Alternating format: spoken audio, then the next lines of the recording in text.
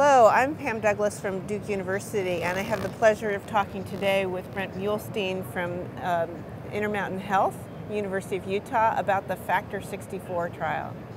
Brent, could you just give us a top line result on the trial?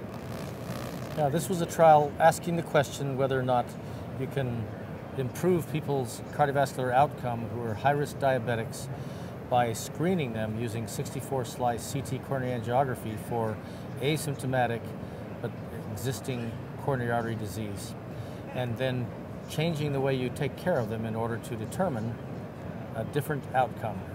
And the trial, in a nutshell, yes, showed no significant yeah. difference between those who were screened and those who were not screened. Interesting, very interesting. Why do you think that is?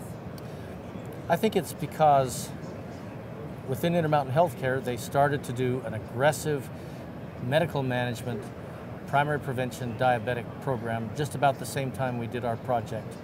And they were so successful with that that it dramatically reduced the number of events compared to what we had powered our study for. So we had not enough events to determine the difference between the two groups. So that's interesting. So to me, the take home would be, or at least one of the messages would be that um, really aggressively medically managing your diabetic patients is just as good as an asymptomatic, as a screening strategy, as a routine screening strategy. Is that, I, th- that I think that's correct. And what we did find in that study, because we, in the scanned group, 70% of them had some evidence of atherosclerotic mm-hmm. cardiovascular disease. Very and high risk group then. And so it's a high, high risk, risk group, group, and so aggressive management for 100% seems to be justifiable, mm-hmm. and rather than trying to separate out the 70% that have it, mm-hmm. because probably the 30% that we couldn't find it are going to get it soon anyway. So yeah.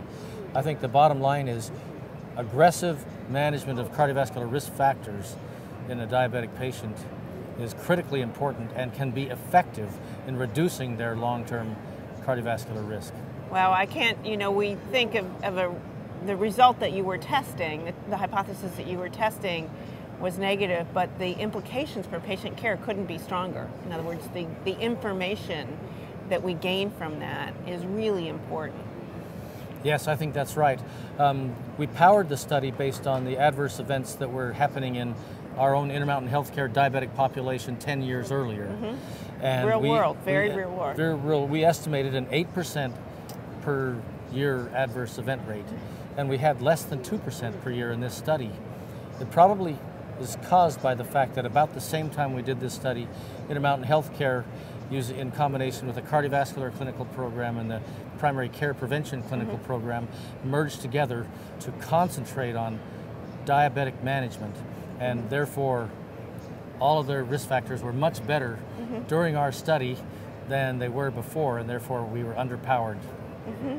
Well, that, it reminds me, uh, you know, of the results of the Courage study, which, which of course is not necessarily diabetic, although they all had cardiac risk factors, and very importantly, all had symptoms.